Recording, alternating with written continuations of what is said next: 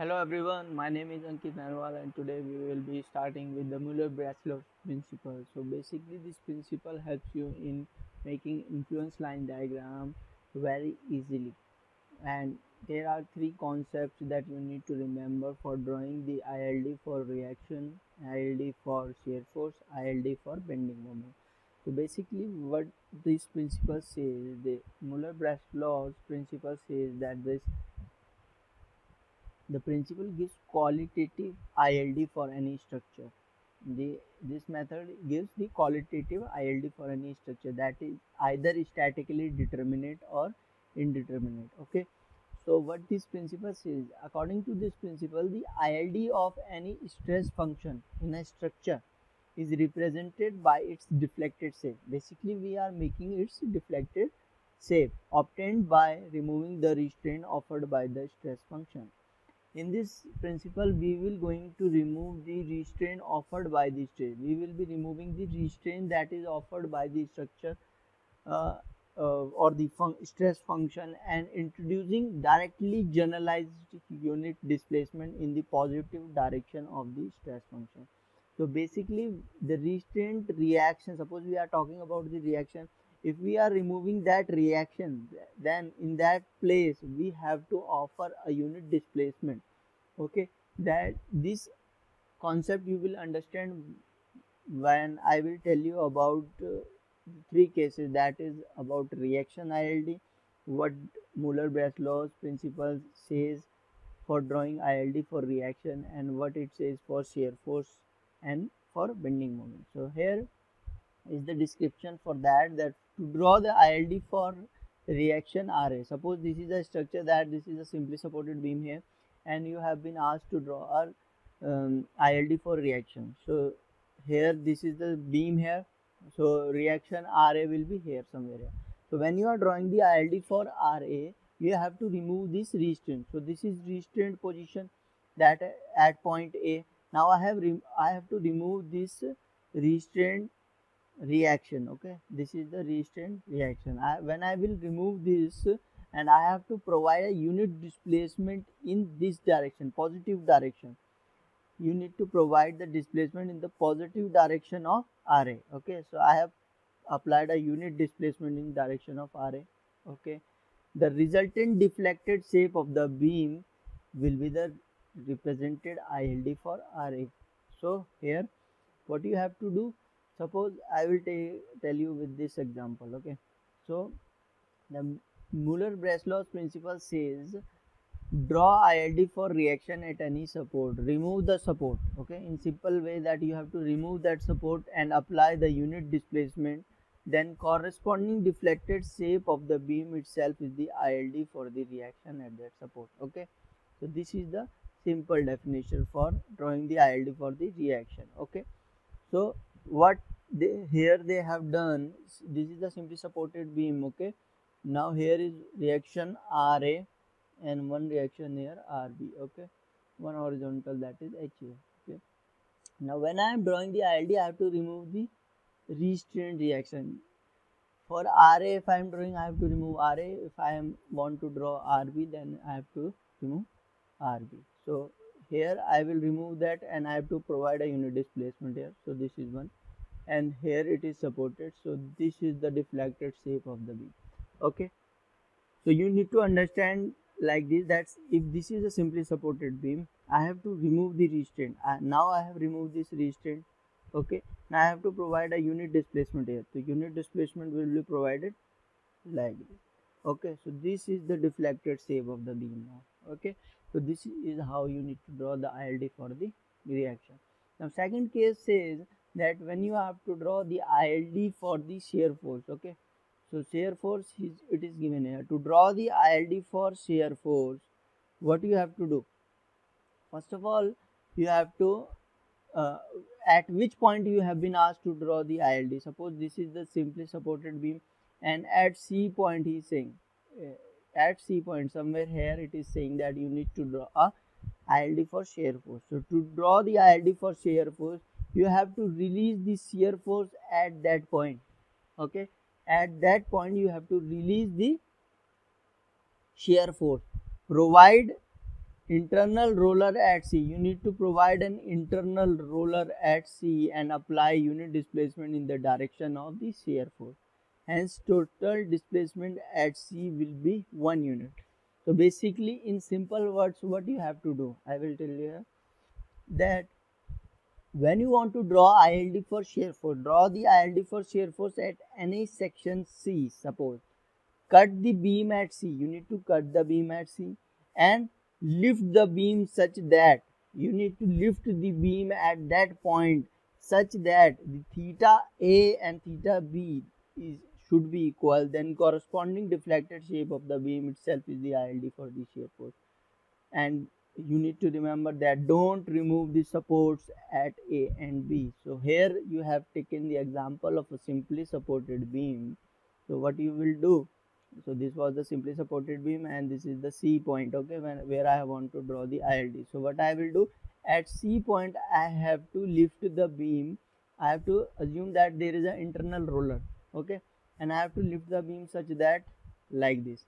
This total deflection should be unit. This from here to here it should be total one unit deflection okay? And the deflected shape of the beam will be ILD for shear force. And this angle this was A point this was B point and this theta A and oh sorry theta A and theta B. This angle should be equal theta A should be equal to theta B so I hope this point is clear that how you need to make a shear force ILD now while making the ILD for the bending moment what you need to remember you need to remember that release the bending moment at that point. Which point you are talking that you want to make a ILD at that point you need to release the bending moment. Provide a hinge at C. At that point you need to provide a hinge and apply the unit displacement in the positive direction now you need to provide the displacement in the positive direction only of the moment and that displacement should be equal to AB by L.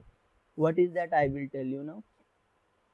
Suppose in simple words you can understand it by that for drawing the um, ILD for bending moment, bending moment at section C, okay. Assume an imaginary hinge at C. Uh, you have to assume that there is a hinge at C and lift it by an amount of suppose we are talking about the simply supported beam case and this was a point this was b point okay? And we want to make at c so at that point you have to assume that there is an internal hinge here and an imaginary hinge. Up when there is a hinge here what you have to provide you have to lift in positive direction you have to lift it from positive direction in positive direction and when i will lift in positive direction what this displacement should be equal to AB by L. And what is this A and B? A is the span from A to C and B is the span from C to B. So, and L is the total length. A plus B is equal to L. So, you need to raise the B, uh, you need to provide a displacement of AB by L. Okay. So, amount of AB by L and A is the span of AC and CB is span is equal to b total span is l so that so that you have to raise this ab by l so that your theta a plus theta b should be equal to 1 this is the condition for drawing the ILD for bending moment then the corresponding deflected shape of the beam itself is the ILD for the bending moment. So when you will lift this beam so here the deflected shape of the beam is the ILD for the bending moment. So i hope these points are clear. Here also you can see that in this case it has uh, lift the beam by suppose this length was a remaining was l l minus a so ab by l okay? He has lift the beam by ab by l. So ab by l this length is a this is l minus a okay?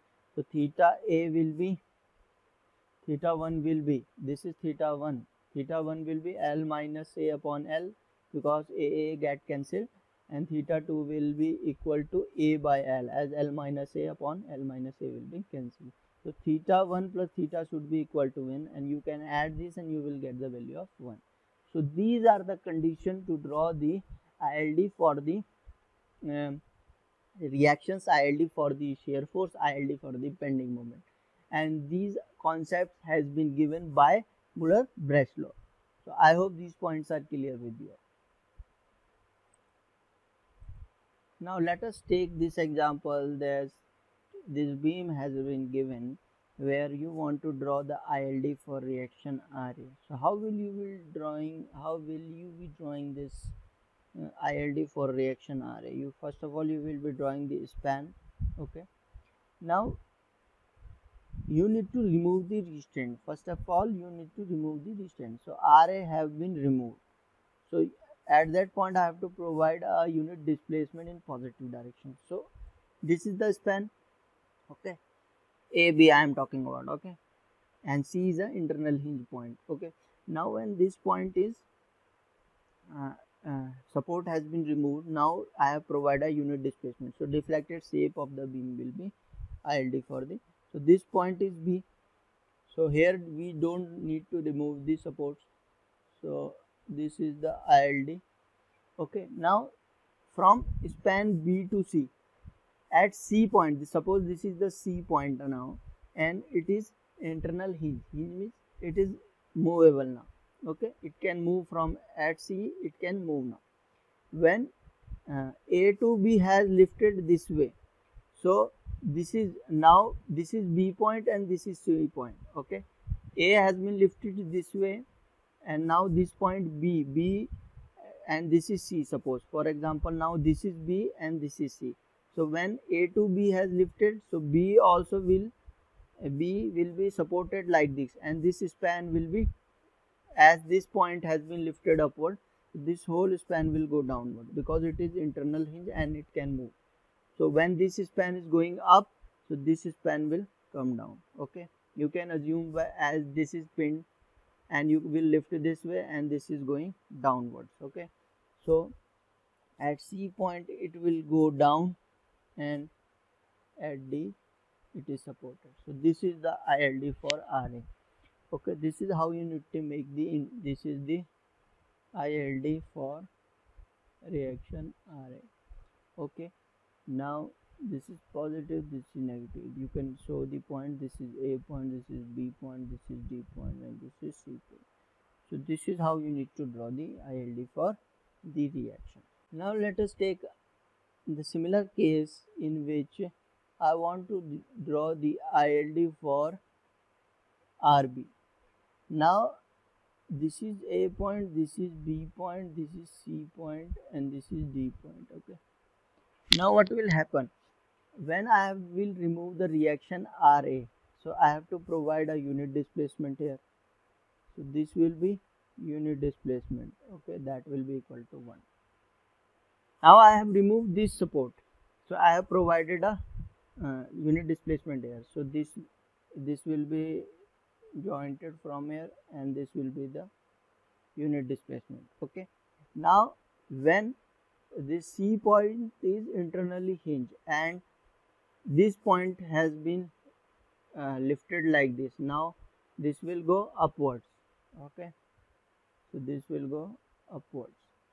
So this will be the ILD for RB this will be the ILD for RB so I hope you are getting this point that how will you calculate this? And you can get this value. How will you get this value? As this span something span has been given and you need to you can calculate this with the help of the if spans are given okay for example i will tell you let us take that it is um, 4 meters and this is 3 meters and this is 2 meters okay? Now when we have taken this so as this is 4 meters so the angle will be uh, we can take that as tan theta equal to theta. The angle will be very small so theta, let, let us take theta equal to 1 by 4 perpendicular upon base so theta is 1 by 4 so this angle will be equal to this angle that will be equal to theta. And this angle is 3 this span is 3 so what will be this height so theta will be perpendicular upon base. So base into theta. So 1 by 4 into 3 that is 3 by 4 so this will be 3 by 4 okay now here also you can see that this is 4 and this is 1 so for this what it will be? For 4 meter it is going 1 up.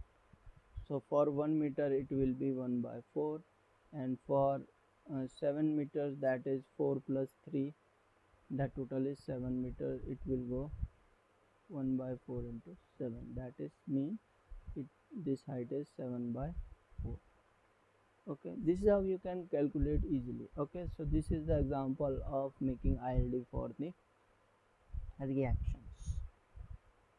Now let us see the second one that suppose this is the beam that has been given to you. Now let us take this is a this is b and this is c. Okay and this is span is a this is b okay total is l so for making shear force uh, ILD what you will do? You will make a simply span and suppose we are wa want shear force let's say we want to say we are saying that we need the value of shear force at C so what you will do? According to the Muller-Breslau you have to leave the beam that it should be total total displacement should be unit displacement such that now this is the deflected shape of the beam so this is this and this is b and this is a. Okay. So you need that both the angles are equal that theta a equal to theta b. When this angle will be equals means that this this will be b by l and this will be a by l. Okay this will be b by l and this will be a by l because theta um, as per this um, Muller-Breslau's principle that I have told you here that the angle should be here. I have told you that theta a should be equal to theta b in case of making ILD for the shear force. So how will that angle be equal? Suppose I will take uh, uh, this point uh, let us take x for example. If I am taking this as x so theta a will be uh, perpendicular upon base okay? And theta b will be equal to what you say.